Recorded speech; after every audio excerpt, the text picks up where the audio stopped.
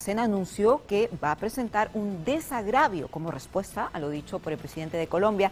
En un medio local indicó que lo hará de la manera más enfática posible al reafirmar que el 7 de diciembre pasado se produjo un golpe de Estado perpetrado por el expresidente Pedro Castillo. Vamos a escuchar el byte, la declaración.